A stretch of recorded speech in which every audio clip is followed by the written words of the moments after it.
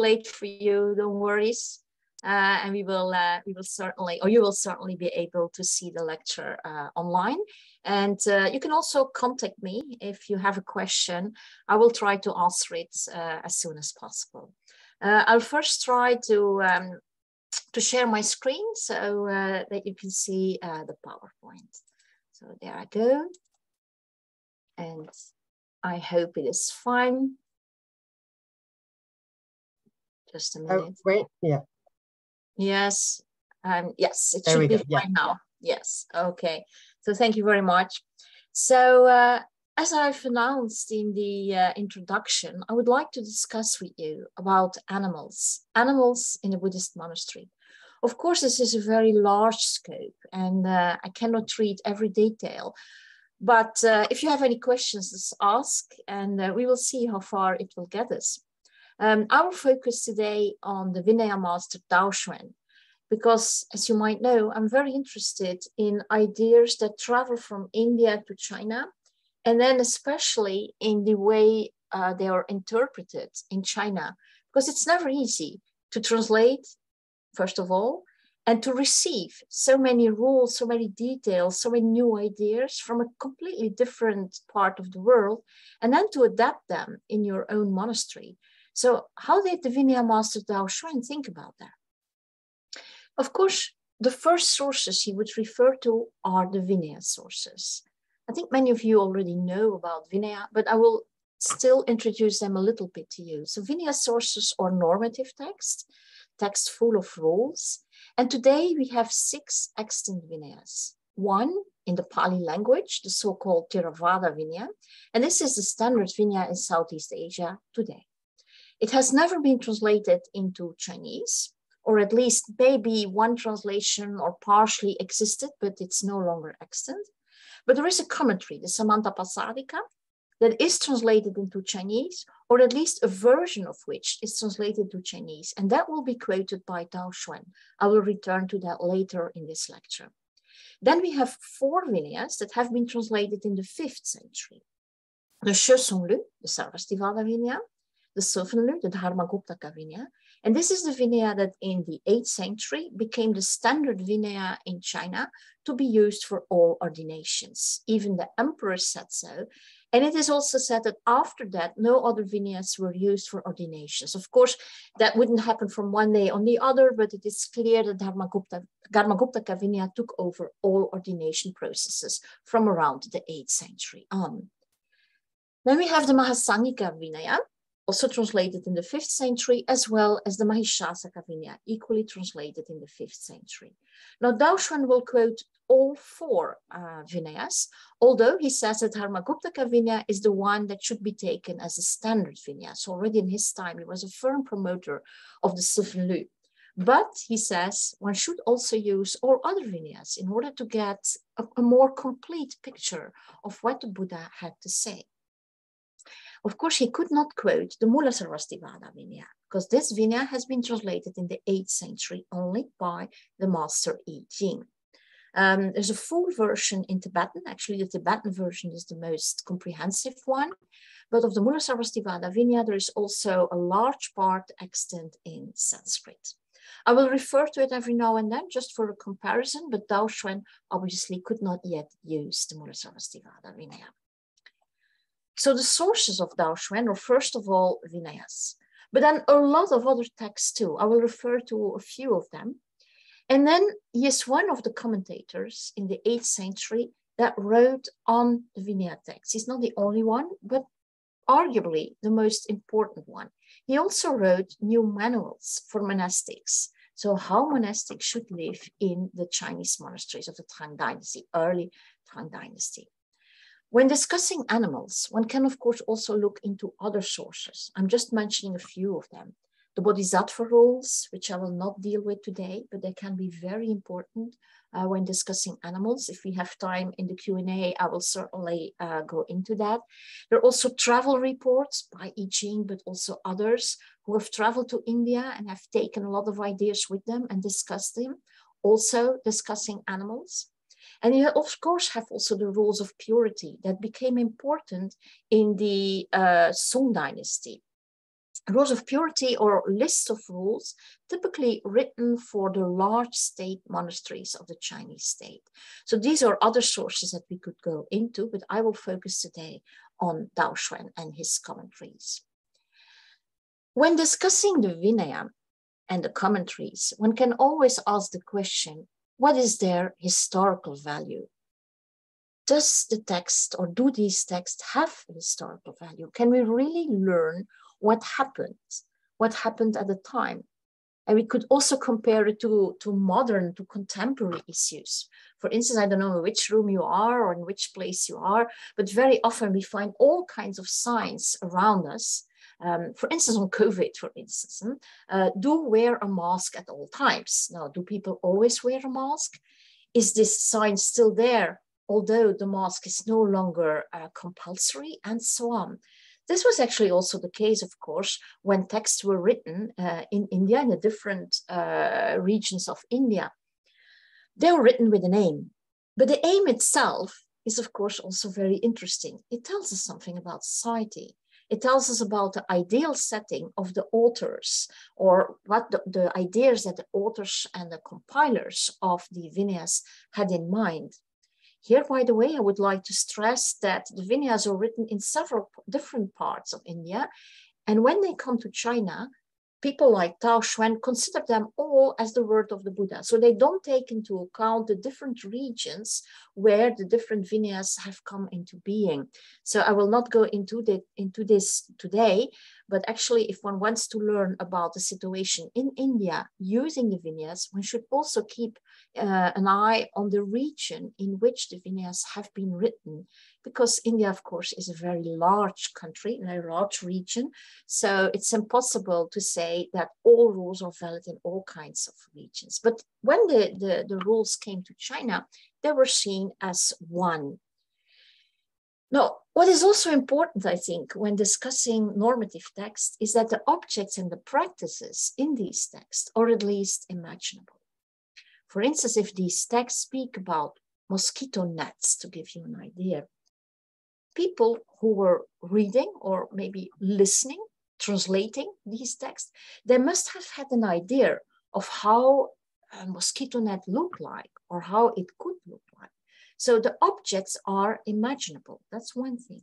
And secondly, even more important, I would say, is that the text also reveal incidentals. Now, this is a term I've taken from Jan Nattier, and I would like to quote um, the first i think it's the first time that she um, that she refers to it but it might be a uh, second or a third time.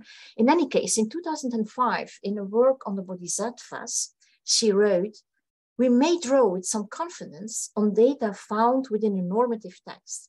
When incidental mention is made of items unrelated to the author's primary agenda.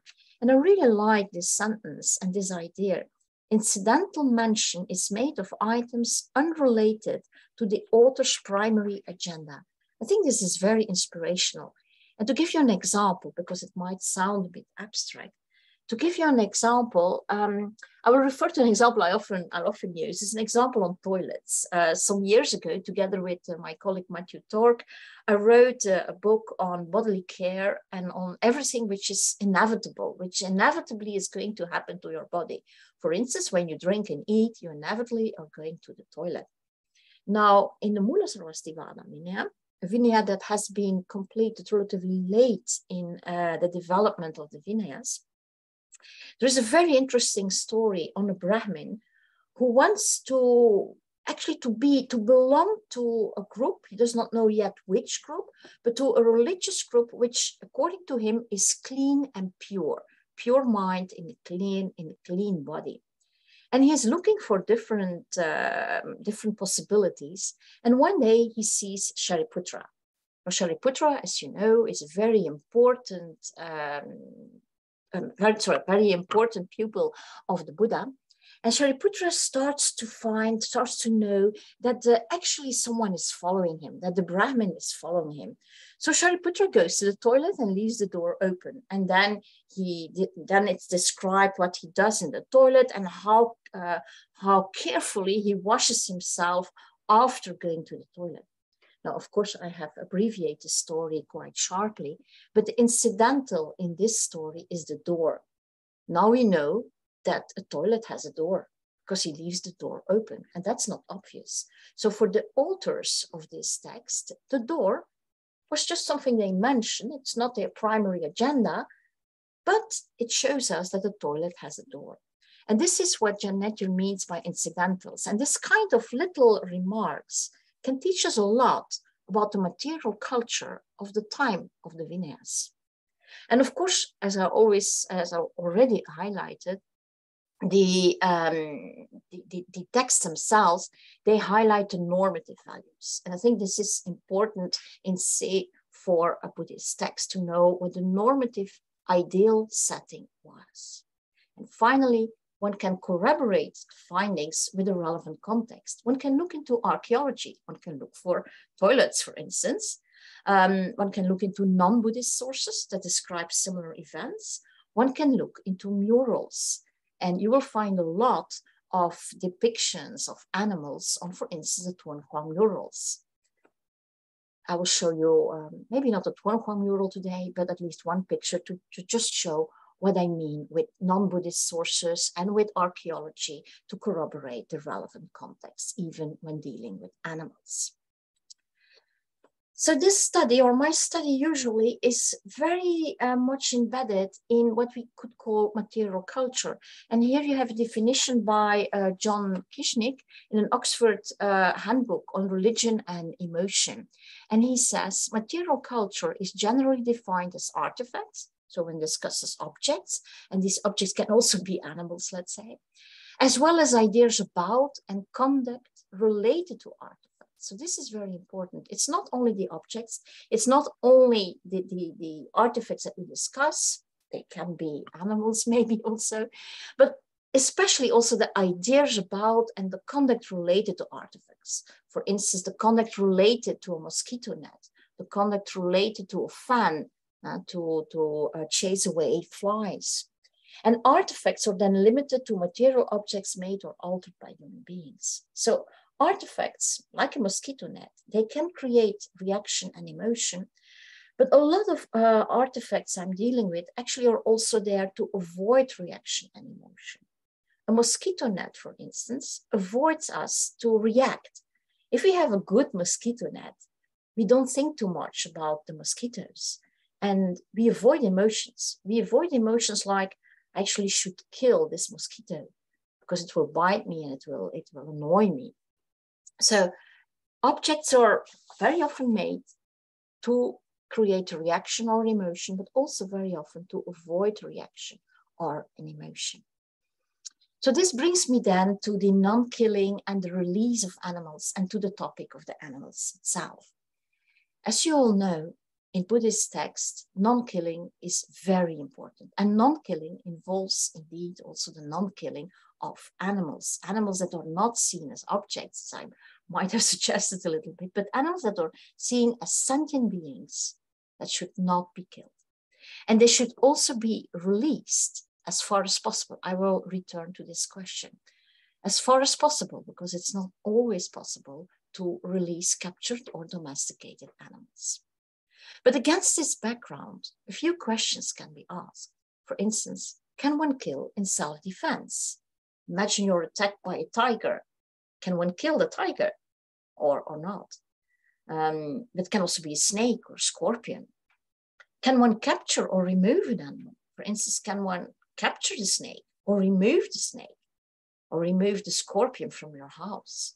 Or should one protect, cherish, endure, or inure animals. Not always, not always easy. Huh? Imagine you have bad bugs and you try to ignore them. Is that a solution? So these questions are asked in the Vinaya, very practical questions actually. It's all against the background of non-killing. Killing of an animal cannot be done, but it is a lesser offense than killing a human being. This is in all Vinayas the same this the, the, the quotation you have here is a quotation from the Southern from the Dharmaguptaka Vinaya. And it says, if a bhikshu, a monk, but it's same for nuns, deliberately breaks off the life of an animal, he commits a pachitika. A pachitika offense, and there are variants, uh, variant indic terms, a pachitika offense is an offense that needs to be confessed. Sometimes a punishment will follow. It's not a very severe offense, but it still is an offense. So one should not kill an animal. Of course, another very important term in this rule is the word deliberately. Intention is indeed a very important factor. Intentionally killing is something one should not do. But one should also be conscious that one's actions can harm or kill animals. What do I mean with it? Well, intention as we see today is maybe too narrow.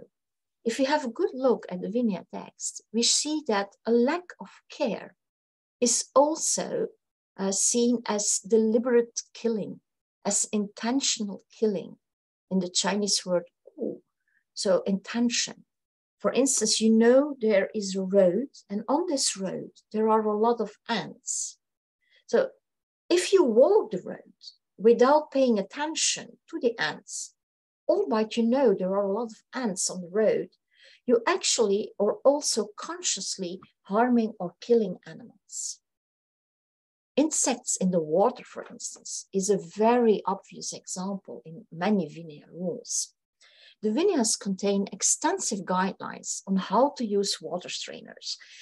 There are a lot of small animals in the water, and if one drinks the water, and one does not care about animals that are in the water, one actually consciously kills the animals. So there are a lot of guidelines on how to use a water strainer. And if one does not have a water strainer, it might be really dangerous. The Mahishasaka, for instance, has an example of a monk who died of thirst. He was walking on a quite long journey and he didn't have a water strainer. And albeit he really needed to drink, he did not dare to do so because he was afraid that he might kill small insects in the water. And as a result, he dies of thirst. Of course, this is an extreme example, but it shows how important the water strainer was and it will become a very important object of a monk. The Sarvastivada Vinaya has a similar rule. And he said, when there it said, for instance, that um, you can walk, you can go on a journey without a water strainer if your companion has a water strainer, but only if you're sure that your companion is willing to share his water strainer with you. I like this little twist of the Vinayas when they say, okay, go without a water strainer if your friend has one, but be sure that your friend wants to share his water strainer. Otherwise, you are in trouble. Captured animals then. Okay, the animals are then captured in this water strainer. So what to do with them? Well, they should be released in a safe way. One cannot just take out the insects off the water and then think everything is settled. No, one has to put the animals then back in water or in um, moisty mud so that they can survive. In the um, Vinaya, again, probably because it's closed at a later time, one sees that um, the monks or the authors of the author, maybe one author, authors in plural, of the Vinaya start to also have some compassion for the animals. In the other Vinayas, it is just said one should save the animals. But in the Mulasarvastivada Vinaya, it is also said that the animals, insects, can become nervous. So the, the, the little, the little small insects are getting nervous when you're taken out of the water. So the Vinaya says one should put, put some must or moisty sand in the water strainer so that when one takes out the, uh, the insect, it doesn't feel anxious. And then, of course, one has to place it in a safe place.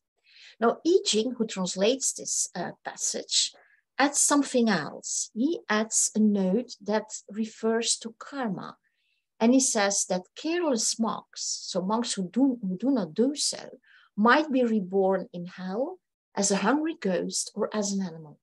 And this is a typical later edition. You will not find this in the Vinaya itself. This is in a note by the translator I Ching. Also, Dao Xuan, and I will return to that later, will add karma to all these rules. But in the Vinaya itself, you will not see any karmic references or any references to karma when killing is involved. But one does see in the Mula Sarvastivada Vinaya that insects are given some kind of expression, some kind of emotion, namely they get very nervous. But then the question remains, of can one defend oneself against a wasp, for instance? or take measures against annoying animals, against the mosquitoes. I'm talking a lot of mosquitoes, maybe because it's summer and I have been bitten all over actually. So they are quite annoying animals. The Sarvastivada Vinaya has an interesting question. The question says, if a bhikshu, a monk, kills an evil animal or a venomous snake and so on, he does not commit the pachitika or answer. So this is a quotation from the Vinaya. He commits a pachitika if he kills other good animals, he equally commits a pachitika. So the killing does not take into account whether the animal is an annoying animal or dangerous animal. Any killing is wrong. But what to do then? I will, of course, return to this question. But before doing so, let's have a look at the releasing of animals. What about releasing animals? We have discussed already the insects in a strainer. Okay, that's clear. But do the Vinayas already discuss the release of animals? I think all of you know a lot about releasing animals. You all have seen pictures, I think, or maybe you've done so yourself, of releasing turtles in a monastery, fishes, birds. You see it um, in East Asia, you see it in Southeast Asia, you see it actually everywhere. The Vinaya does not discuss that so much. You will not find in the Vinayas um, discussions on the, the, the collective release of fishes and turtles. That's a later addition. On the other hand, you do find discussions on release. It is not so that the Vinayas do not discuss release. For instance, um, they discuss the release of individual domesticated animals. But taking them from their owner is stealing. Still, the intention plays a role in establishing how bad the offense is. In the Dharmaguptaka Vinaya, for instance, you have a monk who passes by a farm and he sees that the dog is attached to the door and the dog is crying a little bit. So he has a compassionate mind and he goes to the farm and he releases the dog.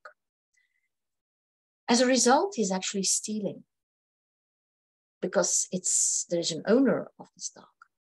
Um, but uh, then the Vinaya says, because he had a compassionate mind, he is not punished for stealing. Stealing would actually mean exclusion from the monastic community. It's a parajika offense.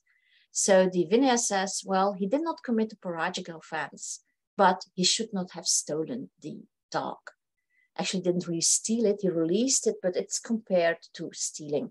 The same for a young pig that was equally attached in the form um, when uh, the monk passes by and sees the, um, the young pig, he also uh, feels pity for the pig and releases it.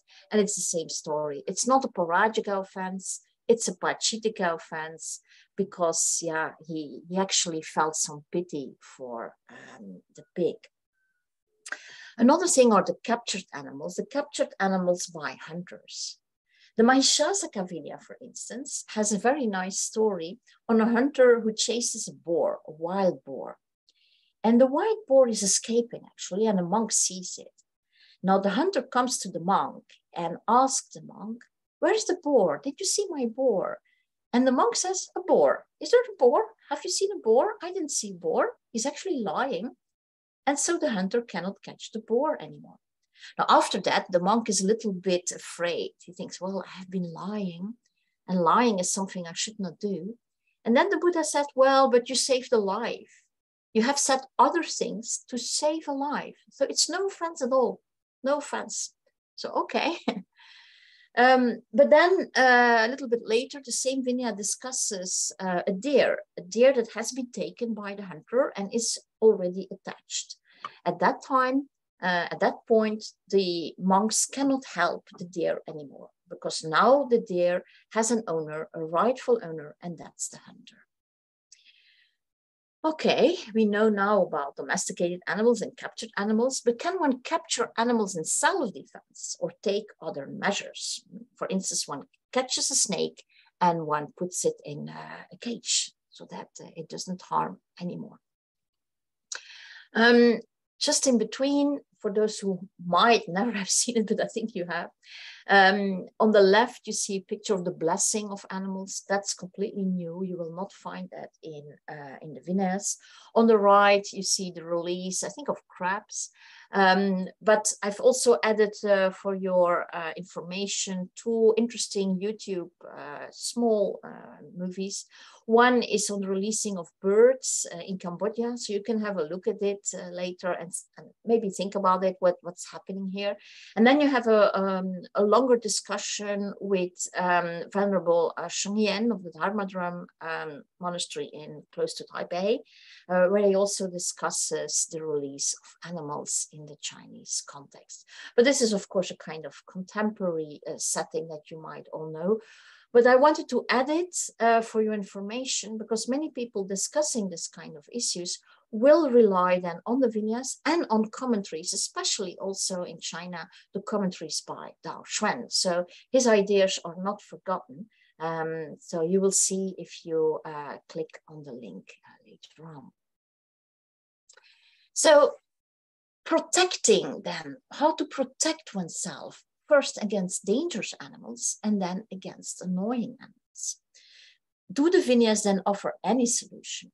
No, the dangerous animals in the Vinayas are the snakes, scorpions, centipedes, and venomous insects, not so much tigers, for instance it might tell us something on the um, residential lifestyle of the monks when snakes, scorpions, centipedes, and venomous insects are the most dangerous animals that we find in the Vinayas. Now, what to do? Well, careful behavior when entering buildings. When you open the door, you have a good look.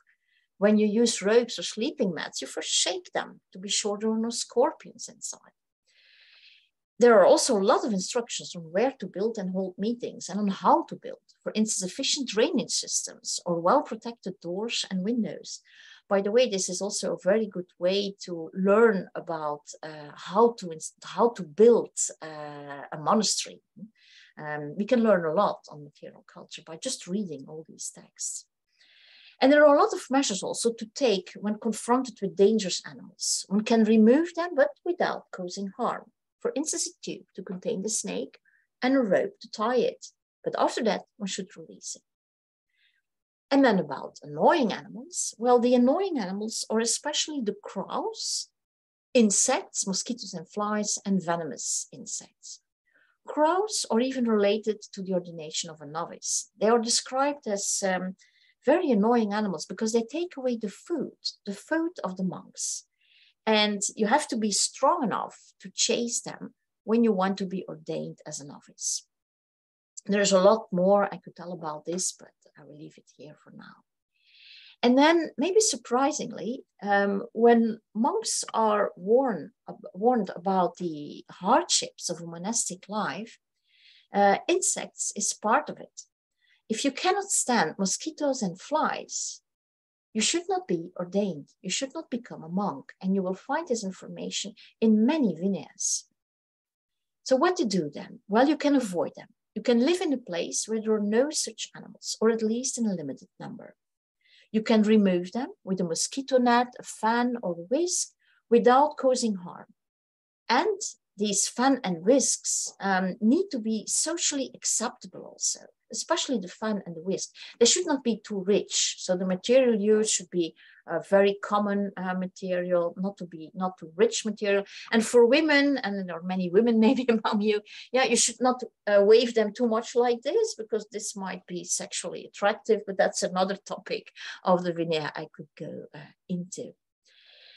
Other animals that are very annoying, I have no time to go into it, but could be ants, bed bugs, or dogs. Dogs can take away your shoes, for instance. Um, maybe one last information before we go then to the reaction of Dao Xuan to all this information.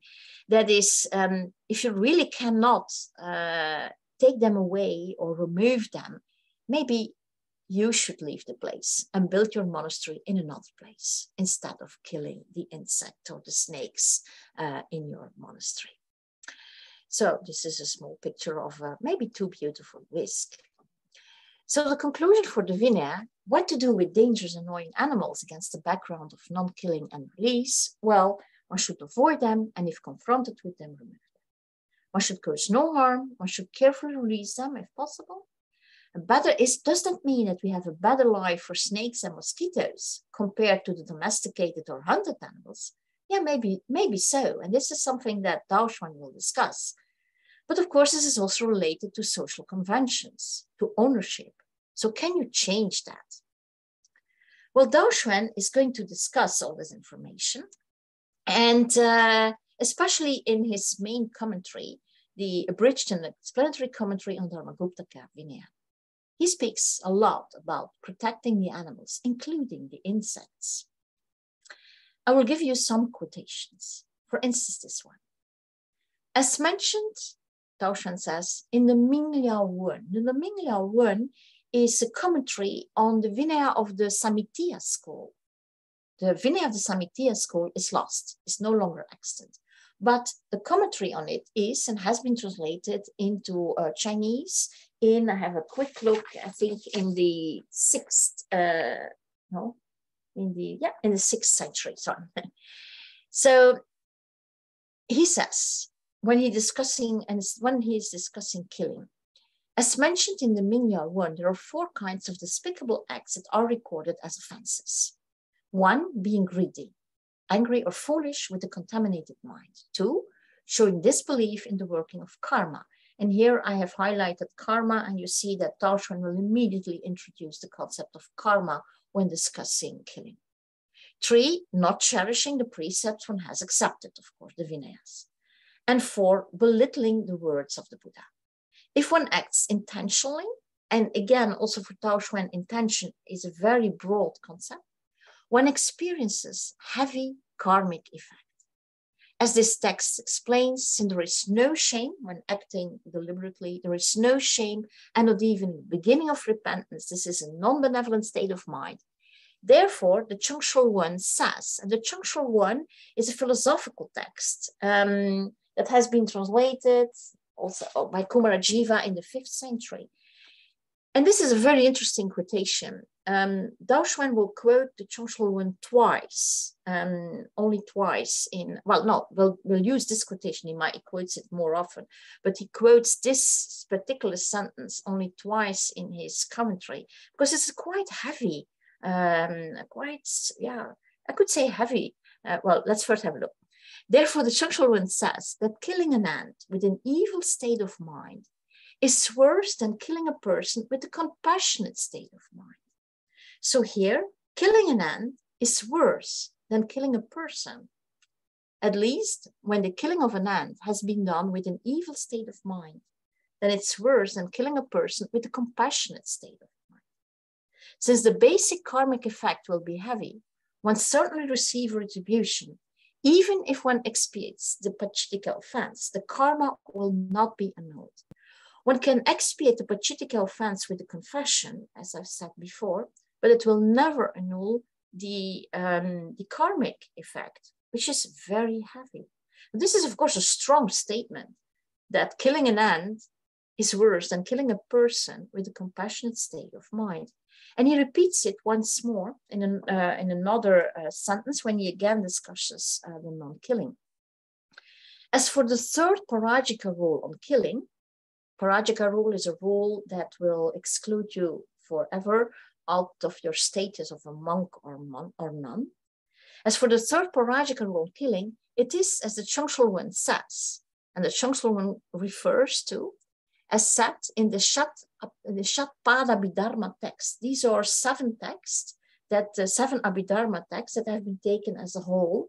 Um, therefore, it said the Shatpada Abhidharma text, six feet and one body. Uh, Shat is a six feet, and then there is one body above it, but that's another discussion.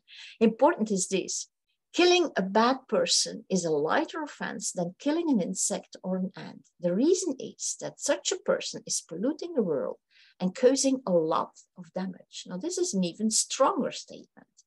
Um, this is, of course, uh, linked to the discussions on violence and compassionate killing Um, how far can being with enlightened or close to enlightenment even kill to save other beings? That's, of course, another discussion and would be uh, certainly the topic of another uh, lecture um, violence uh, or the condonance of violence in uh, Buddhism. What is important here is that killing the insect or an ant is really seen as something very bad, even worse than killing a bad person. So, not surprisingly, Dao Xuan will then uh, incite monastics to do everything they can not to kill. And so also not to engage in digging, agriculture, and forestry. Obviously, as many of you will know, he has not been followed by uh, his companions because um, agriculture became even quite important in um, Buddhist monastic setting. But according to, to Dao Xuan, one shouldn't do so. And he refers, for instance, to uh, this uh, rule of the Dharmaguptaka Vinaya. If a bhikshu personally digs the ground or tells someone else to dig the ground, he commits a pachitika offense because potentially one kills insects. Of course, one should also not use silk. As you know, when using silk, one has killed a lot of animals. Um, and this is not from his main commentary, this is from uh, a text he wrote on um, monastic clothing. And he says, nonetheless, nothing is a worse transgression than to make clothes out of silk. This is why in the sutras, the process of breeding and subsequently killing silkworms is called an evil act. Compared with the number of creatures killed by butchers and hunters, it's a million times worse because you just kill many more uh, silkworms to, to make a robe. Um, of course, again, he has not been followed by many of his companions. Um, and if you want to read more about silk and silkworms and the normative text about silkworms, I can certainly recommend you the work by Stuart Young, who has written a lot on silk and silkworms killing uh, in Buddhist in Buddhism in China. Um, so okay, you cannot use silk. But when we then go to his main commentary and we look at his discussion on water strainers, so Dao Xuan's discussion on water strainers and Xuan's discussion on mosquito nets, you will find that he says that a water strainer can be made out of silk and that the mosquito net can be made out of silk. This is, of course, uh, quite ironic because silk is killing a lot of insects. And then you would use silk to use a water strainer or to make a mosquito net. Now, probably this is a kind of incidental. That means that when Dao Xuan was discussing the water strainer or was discussing the mosquito net, he was focusing on how to save the animals and didn't really think about silk or how silk was made. So he just added it without paying attention that, yeah, silk was indeed also made by uh, killing animals. So you see that even Dao Xuan is not always um, straightforward. But anyhow, when he discusses silk himself, he says one should not do so because one kills a million of uh, silkworms. He is not followed um, and one of those who did not follow him is, for instance, I Ching, who reacts quite strongly. And in his account of Buddhism sent from the South Seas, so his travel account, I Ching says, as regard to use of fine and of silk, it is permitted by the noble ones. Why should one forcibly prohibit the use of it? Why would we reject silk, which is easy to procure, and try to obtain fine cotton, which is difficult to find? Isn't it a hindrance that obstruct the way to the utmost?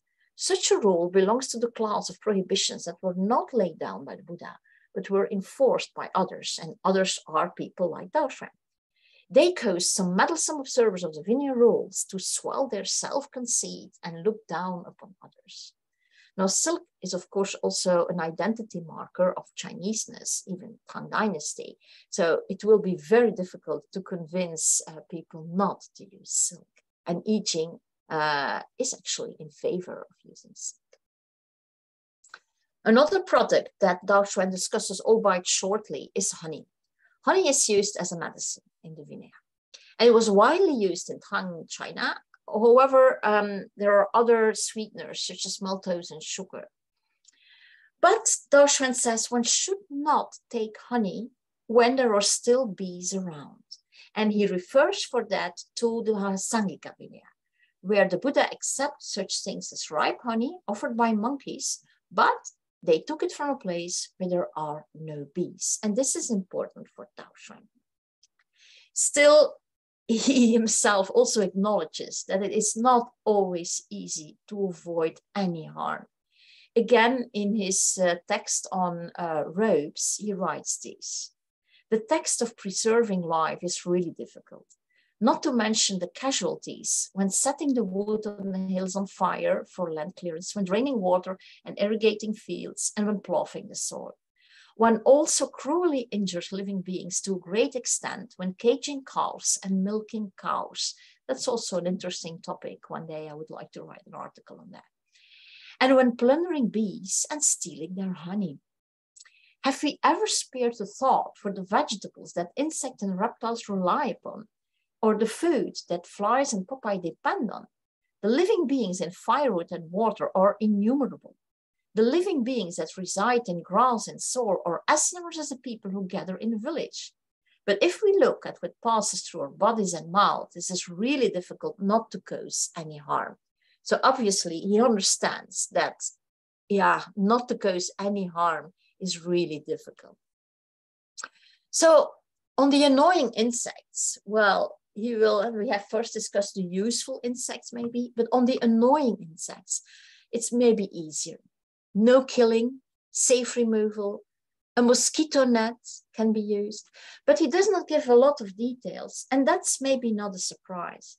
Because if we read into um, other texts, non-Buddhist texts, and I can recommend you the work of Olivia Milburn, who has written on uh, insects and more particularly mosquitoes in Tang literature. And she has found that the mosquito net was actually quite expensive and was only owned, owned by rich people. And monastics probably did not have a lot of mosquito nets. We can also see that uh, when Ennin uh, arrives in uh, China, Ennin is a Japanese monk who in the ninth century arrives in China. And the first thing he says when he arrives in China, at least according to his diary, is that there were so many mosquitoes and that he and his companions could not sleep because of the mosquitoes. So obviously they did not have um, mosquito nets. And of course, he also says that one should be very careful not to kill any animals when walking. That's, for instance, in a new manual he wrote uh, for novices in training. Another um, text that I will finish with today um, is a text uh, on all kinds of objects, and therefore I said that maybe uh, animals are sometimes treated as objects, but that's that's uh, that's very um, dangerous to say so. I don't think Xuan uh, saw uh, animals as objects; he saw them as sentient beings, but he puts them in the property, in the property that monastics can have. And he has written a very interesting text um, on models for measuring and handling light and heavy property. This is not a translation. This is not so much a discussion on Vinaya rules. This is really his own thoughts uh, on how to handle property in uh, a monastery. It's a very dense text, very difficult to translate. Um, but maybe one day uh, there will be a full translation of this text. Now, the light and heavy property that he discusses is distinguished as follows.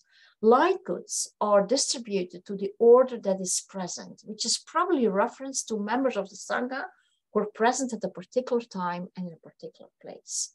So the, the actual monastery, while heavy goods belong to the order of the four quarters and are seen as communal property of the whole uh, Sangha. Now he will discuss uh, animals and you will see that I start immediately with four. So in one of his sections, if I'm not wrong, it's the ninth section, he discusses animals, but it starts with four because he does not, he puts the animals in a little bit strange section. Um, in the section of slaves, or strange, maybe this is our interpretation, but in the section of slaves and servants. So one, two, and three, which I did, I did not discuss here, are actually ideas he has about slaves and servants in a monastery. Also a very interesting topic to delve into. And then four is the first kind of animal. You also have five and six. Four, one keeps domesticated animals, such as camels, horses, donkeys, cattle, and sheep.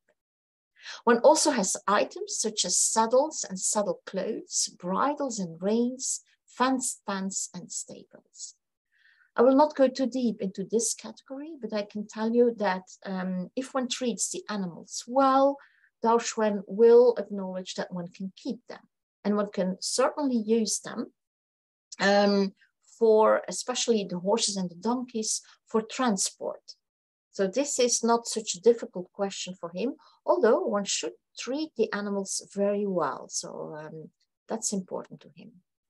Then the fifth uh, section is, of course, for him a difficult section, but the solution is relatively easy. One just should release these animals. But he says that one keeps wild animals in the monastery, such as uh, also such as people do, also just as people do. Um, one keeps wild animals such as apes and monkeys, river deer and deer, bears and brown bears, pheasant, rabbits, mountain cocks, wild dogs, geese, and wild geese. And one also keeps items such as cages and racks. Of course, again, it's difficult to know what exactly happens, but at least he imagines that these animals are sometimes kept in an animal, in a, in, sorry, in a monastery, excuse me. So we should release them. But it's not always possible. For instance, he says wild dogs sometimes have their wings clipped. And people did that also today to avoid these ducks from flying away. So ducks, geese, they sometimes have their wings clipped. And if this is the case, he says, one cannot release these animals because they cannot fly. They would just die. So what is the solution? Well, one should give them food. One should give them drinks. One should just take care of them. It would be interesting, um, and maybe one day if I have time, or you have time, uh, to see whether uh, this was actually happening. But it's his idea. And one category I would like to discuss a little bit is the sixth category. This is the animals that he sees as a sign of evil deportment. And these animals are cats, dogs, owls, and howl. And why? Because they are just like poison and crow spores. They can be used to kill rats. And of course, there are also cages and on. And just as bows and arrows and five kinds of weapons, traps and snares, all instruments to kill, the monastery should not have them. And this I will discuss a little bit more to, to give you a translation of what he says about that and to give you an idea of how his text is composed. As for the sixth subsection, he says, things connected to evil deportment. So there are evil deportment. And first, he discusses weapons. There are not so many in this category. So remember, he's actually discussing animals, but he changes them to kind of objects used to kill.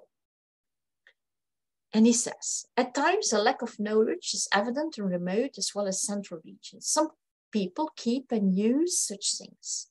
Yet, since these things exa exacerbate, difficult word, the offense of not protecting living beings, they should be burned and rejected. Obviously, this is not discussing the animals. This must be weapons. Using them is just as much against the Dharma as a hut made out of mud, which must be destroyed.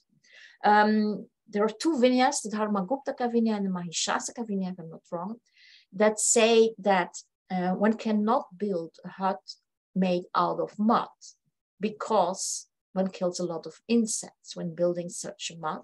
And these huts must be destroyed. Actually, the owner, who is a monk, is um, is actually protesting and says, no, no, no, against the Buddha. Actually, not. But then he says, well, because the Buddha said it, I will still destroy my heart. Therefore, Dao Xuan continues, the Shanjian Lü Piposha, and this is Samantapasadika, the uh, translation uh, of which in is called Shanjian Lü Piposha in Chinese, but it's not a translation of the Pali version we have, but a version which is similar. So the Shanjian Lü Piposha says that if one is offered weapons, the Sangha should destroy them and one cannot sell them. If one sells a weapon to a person before they commit a murder, then the seller's karmic retribution is the same as the murderer's. This is also very important. If one sells a weapon to someone, one actually, and, and, and the weapon is used to kill, actually the seller is also killing. And this is the same if one sells a cat or a dog to someone, and then the dog or the cat is used to kill. In the commentary, and maybe this is the Shanjian Lü Piposha, it's not sure, in the commentary, it is said that if one keeps things that go against the rules, then the monastic manager should destroy them so neither wealth nor fault increases. There is something like this in Samantapasadika, so maybe this is Dao Xuan's interpretation of it. The correct position is that these things are clearly prescribed. This is doubtless the standard to follow. I put the correct position in green because I'm not sure about the translation. The um, Chinese text says Zhengwan. Now, Zhengwan could be a reference to a text, but I could not find any text that corresponds uh, to this quotation. So I just translated it as the correct position. But if any of you has a better idea, please just uh, write an email to me and I will be happy to acknowledge you. I, sometimes Dao Xuan can be very difficult to understand. And then he goes on to the cats and dogs and says, there are also those who breed and keep cats and dogs specifically to kill rats. Indeed, dogs are used to kill rats in China. The cat took over in the Tang Dynasty only. The sutras and commentaries generally prescribe this as evil deportment. And, and this, this evil deportment you will be able to find in a lot of sutras and commentaries discussing animals. By keeping these animals for pest control, one diverges from the good precepts. If one sells them, remember selling the weapons, the karmic retribution will be even worse since they are living beings. If one gives them to someone else, this still perpetuates harmful intentions and ultimately results in karmic bondage. It is fitting to release them in the wilderness and allow them to come and hide as they wish. So if the cat and the dog come, you have to feed them. The manifest yoke of forced bondage increases their hardship. Only by following the previous determination can we both, animals and monastics, feel at ease and thus calm the enemy of birth and death and newly established a holy residence of compassion. As for birds of prey, they should be dealt with according to the same principle and released into the air. So, uh, for those who might doubt that dogs can take rats, uh, this is uh, something to corroborate our findings. This is a picture from a tomb in Sichuan area um, of the Han Dynasty. And you see that in the tomb, there is a dog and he catches a rat. So to come to my conclusion on Dao Xuan, um, well, remember, he says himself, that all living beings are equally endowed with the potential to Buddhahood. This is why we should not kill. This is to respect the teaching, to put trust in the law of cause and effect, and so secure a long life. This is a basic idea of Dao Xuan. Even if sometimes he discusses the compassionate killing, he returns uh, more often to this idea, which is a, a quite uh, often mentioned also in the Yogacara um, school, um, that he probably uh, was very aware of. In his uh, discussion on the Vinaya, he will stress intention more than Vinaya itself, and then the karmic effect of killing or harming animals will also be very much underlined. Animals, including insects, need to be protected. So no harm, also no farming actually. Some animals are indeed used, even in the monastery, but there is discussion on silk and bees, animals used for traveling, and certainly, as we have seen, cats and dogs. Animals should be released as much as possible. It's not always possible, but as much as possible, it should be done. how to treat then animals that cannot be released, that remains for me an open question. So if you have ideas on it, it would be very, it would be great to hear about it. Did he change social conventions? Probably not that much, but at least he tried so, would be my answer here. So thank you very much. And the uh, picture you have here is one to avoid emotions when you are meditating. You have a nice mosquito net and the mosquitoes will stay away from you. So this is how uh, people today actually also try to meditate in countries or regions where there are a lot of mosquitoes. You can just find them everywhere, uh, on Amazon even, if you want to have a look. So thank you very much. Uh, and I hope you have uh, questions or comments. I stop sharing so I see you a bit better. Yeah, thank you very much, Professor Heirman. That was uh, fascinating. Yeah, we'll open it up now. You're welcome to raise your hand or just unmute yourself. So are you able to see the hands, the digital hands, Professor Heirman? I don't see any hands for now. Okay, I see Valeria has her hand up. Okay, no, I don't see it, sorry. Okay. Oh. Thank you, Professor. It was a fascinating, very interesting lecture. so uh, animals, it, it is school. Uh, so I have uh, two questions. Um, the first one, um, is it, uh, if an animal is mortally wounded and suffering, uh, can it be killed?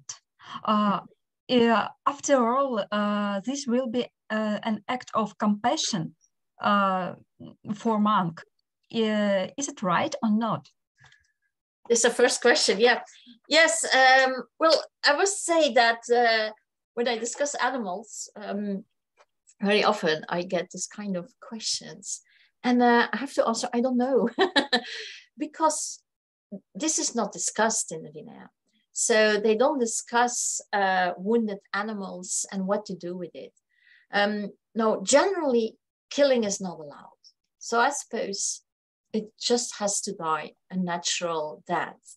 And one cannot kill out of compassion. Um, of course, one can one cannot send an email anymore to Daoxuan and ask him about it. but uh, in the Vinayas and in Daoxuan, this is not discussed. But the only compassionate killing that he discusses is this uh, violent killing, one could say, or, or the, discussion on violence, um, namely, well, it's not violent, it's compassionate killing of a violent, potentially violent person. And he only refers to it twice, and he calls this compassionate killing because it's a bad person who will do a lot of harm. But then he does not extend this to um, to animals um, because animals are innocent. Um, and so I don't think there is compassionate killing for a wounded animal. I'm sorry. But even if you would do it, but maybe if you would do it today, you could discuss it. There's a lot uh, one can discuss with contemporary uh, monastics, I think. But it's not in the Vinaya, nor is it in Daoxuan's text. I see okay, the hands now. They start to pop up. Yeah. Mm. And the second one, um, as you uh, mentioned in conclusion, uh, everyone is uh, worthy of Buddhahood. Uh, mm. Equally, uh, is it a person or animal or insect? Uh, is it right? Yes. Mm. So um, uh, in the lecture, it was mentioned that um, um, people shouldn't uh, sell um, bad things, bad objects, uh, such yes. as weapon and uh, evil animals. Mm -hmm. But um, uh, everyone uh, has to uh, has the right to decide whether uh, it will be sinful or um, good. Uh, um, so we um, deprive uh, this uh, bad animal from their choice. We, um, how to say, um, so it is, they are not equal. We, am I right? Yes, well, they are not equal. Um, well, there are no evil animals in that sense. That's only the Sarvastivada Vinaya who asks this question and then says, no, eh, one should not make a difference between evil and good animals. Animals are dangerous or annoying, but they are not seen as evil. So um, if the cat or the dog uh, kills another animal, um, it's only an evil act if this is um, ordered by the monastics to do so. So if a monastic person has a dog with the purpose of killing the rats or a cat with the purpose of killing the rats, then it becomes evil deportment. But the evil deportment is always referring to um, the owner of the cat and the dog, and actually not to the cat and the dog itself, although they obviously kill each other, animals kill each other, but it's not discussed as evil. So in that sense, they are not equal.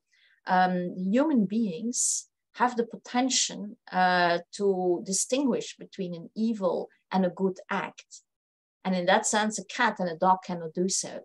So in that sense, they are not equal. Human beings can make that difference. So in that sense, uh, the, the animal remains innocent in a way because it's not, eh, the animal cannot make a difference between the good and the evil act. Thank you very much. Thank you for the question. Um, I saw a hand by Laura. Yes, thank you very much, Professor. Thanks to your lecture, I can uh, trace back um, the origin of a lot of uh, ideas from uh, 10th century, 10th century letters from uh, the morality books. Mm -hmm. and so I found it very interesting, uh, particularly about what you said about the ants and uh, the lives of ants being um, more important than um, a criminal um, uh, criminal um, lives, for example. For example, in um, I think we, we find the same idea in uh, the ledgers of merit and demerits from uh, when it says that uh, when you uh, save a person's life, you can uh, gain uh, 50 merits.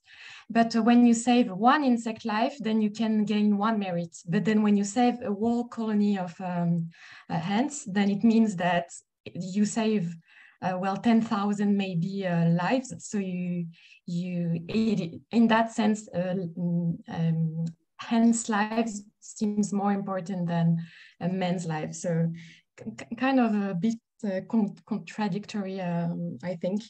And also, I found very interesting um, the, this question about uh, intention and doing things uh, del um, deliberately. Oh, I'm sorry. Um, I mean, on purpose. Mm -hmm. I have um, also um, I have uh, anecdotes about um, in morality books about um, a, a, small boy who uh, eats uh, on purpose uh, a tiger, but he does it to save his father. So normally that act of eating the father would be, uh, eating the tiger would be a, a, a, sinful act, but because he did it for a filial piety, then is uh, it's a good act. So intention is is everything, uh, I guess, in those type of, of text. And that's it. Thank you. I didn't have a question. Just I, I just wanted to say that. Thank you very much. Thank you very much for your comments. Yes, indeed, when when does refer very often to the Tang Dynasty and, and takes inspiration of it. Now, of course, um, Dao Xuan, I mean, I've taken this, this, these two quotations from his text. He, his text is very, very long. So it's not his main idea. Uh, what I wanted to show is that it is there and it's not that uh, he does not uh, speak about violence, what we, we, we would call it violence or compassionate killing. It's not that Dao Xuan doesn't have it, but it's not overall in his text. But of course, um, I think it, it, it, becomes even more important uh, later. Uh, that's one thing. Was some yeah, and then of course yeah, there, it's sometimes also contradictory indeed because um, there are also uh, quotations. Now I should, I should, I don't know exactly where anymore now, but um, in the Vinayas, for instance, and also Dao Xuan referred to it, um, when you kill a big animal, the karmic effect can be also very important because you need to do a lot of effort to kill it. For instance, an elephant, when killing an elephant, it, it demands a lot more effort than to kill an ant. So um, sometimes it's counted that the elephant then counts for many, many other uh, animals because of the effort that you need to have to kill this big animal. So it's not always just one, one, one, one. It's also the effort that uh, can play a role uh, in the killing. But this is just a small remark on what you said. Yeah. But it's interesting, yeah, so absolutely. Thank you for the remarks. I don't know if there are any other questions or remarks or ideas, suggestions, corrections. Everything is possible. I see uh. Yeah, thank you, Professor. Um, I really enjoyed the, the whole um, lecture. And um, I have a question concerning um, materials that um, Dao Xuan draws upon in his, in his commentary. So he seems to draw upon um, multi kinds of um, texts, um, not only from Vinayas, but also from um, something like Chengshi Lun, so um, sort of like an Abhidharmic um, mm-hmm. literature. Um, I, I, was wondering um, what did, did he see them like equally when they are issuing um, Vinayas? And also, um, and I think in the opening part of the of the lecture, you mentioned that he um, he strongly proposed that the, the the best or the the the best Vinaya that he thinks is one of the is it Gupta Guptaka Vinaya? So yeah, Guptaka Vinaya, yes, yes. Yeah, yeah. So um, how does he show that he preferred that over the others? Did he use some kind of metaphors or rhetorics in his um, explanation? And yeah, that's my question. Thank you. Thank you very much. No, it's a very good question. Um, well, he just says it that for him the Sifen Lu is the most important one. Um, his main reason seems to be that he thinks it's the first one, the first Vinaya that was used for ordinations uh, in China. He also has a very famous, albeit short passage on um, the fact that the Dharmaguptaka Vinaya, according to him, is Mahayana, uh, is Tajong. so it has Mahayana ideas. And then he tries to, to convince his public. It's a relatively short passage. It's very often quoted. It's very much known because it's, of course, very popular uh, in Chinese monastic text uh, later on. But uh, he, I, I, don't think he, he convinced himself so much about it then later because it's so short, he doesn't return to it. Um, but it's, of course, a passage that is very well known. But he says it's the first one, and therefore um, one should really stick to it. Um, and uh, but then, if you see, well, an idea I think I have a bit about Dao Xuan is that he rarely has his own opinions he makes his own opinions by looking into his huge library. He had a very large library and also probably a very good memory because he seems to know where to find the, the text and the quotations. Um, but he composes his uh, idea. So he probably has an idea, but then tries to corroborate it by taking quotations, sometimes even out of context, and putting them all together, no matter from which text they come, to have his idea on how it should be. Um, but he also says that the Vinaya texts are normatively the most important ones. In, in, in his life, famously, he was first um, um, more keen on meditation, and then he found out, he says, that uh, without the Vinaya, there can be no meditation which makes me think also a bit of Eric Green's uh, new book on Chan, um, on early Chan. I don't know if you have already read it, and uh, Professor Green will be uh, in the second uh, part, I think, of this intensive program and discussing this book. And he also, actually also says that um, meditation will not be successful if uh, the rules and then the repentance of offenses made against the rules are not first acknowledged and maybe, I mean, I just make this connection a little bit, but also Xuan at a certain point says Vinaya is important, um, not only for uh, personal life, but also for the survival of the uh, monastic community. And again, he says that um, the most important Vinaya is the Sifen But he uses, immediately also says, one should also look into all other Vinayas because it's all the word of the Buddha and they, that should inspire us. The Dharmaguptaka Vinaya doesn't have it all, but for the ordination line and so on, it should certainly be. I don't know if this answers your question, but. Um. Yeah, it's certainly very interesting. And also the, the style of Dao Xuan's writing also remind me of the text I'm looking upon. So the Dasheng Qixin Lun, also in the same period of time, there seems to be a kind of um, tendency to um, gather all those informations from the Buddha really and try to work out a system by their own. Absolutely, yes, yes, yes, yes, yes. Because really, very yeah, of course, in, in, in, in the early Tang Dynasty, all this information comes and one needs to make it into a system. Certainly, this is also what Dao Xuan tries to do. Yeah. Thank you very much. Thank you. I think I saw something in the chat. Um, the book about uh, the silk. Yeah, it's a, I don't have the, the immediate title in my head, but it's the work by Stuart Young. Um, I will write his name. Professor Young has written more than one article and also a book on on silk. So if you want to uh, to find references or to read on silk and silkworms, uh, certainly can recommend his work. The exact title I will have to check now. I hope this is helpful.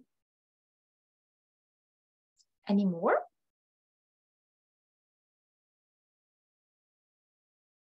Are you getting tired?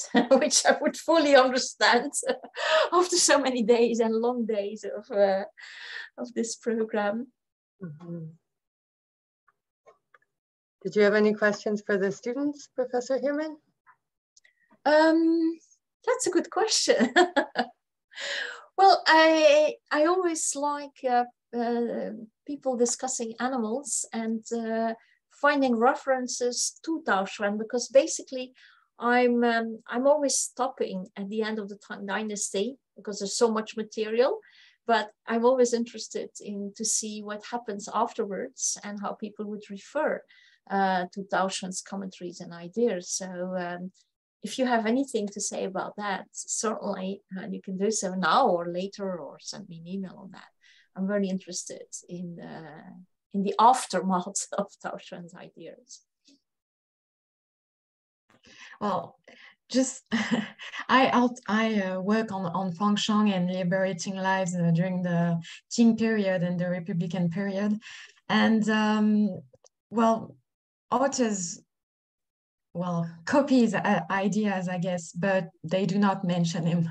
So you do not know that it that maybe he was the first one to write about it or mm-hmm. uh, or that it is coming from buddhist um, vinayas or or even buddhist sutras sometimes. So his ideas became well not mainstream but um, very widespread at least in the moral um, in the moral literature and uh, all these. So yeah, so I don't know if you can say it is his legacy because uh, he is not mentioned, but surely he made an impact. And well, um, authors during the centuries wrote about it, wrote about it, and then maybe they know who it is from, and so they don't mention it because maybe they think that already uh, people already know about him being the original author. But uh, yeah. He's not alone, of course. I've taken him out now. Uh, he's certainly not alone. So uh, it's all the ideas that spread around, but he was very systematic. So that's why uh, it's so attractive to, to look into his uh, text. So thank you very much. Thank you very much. Yeah, I think we, we can wrap up here if no one has any further questions or comments. Um, we have another day of sessions again tomorrow uh, with Professor Stone. So we'll sign off. Have a lovely evening, Professor Heirman. And Thank the rest you. of you, we'll see you tomorrow. Thank you. Bye-bye to everyone. Bye-bye.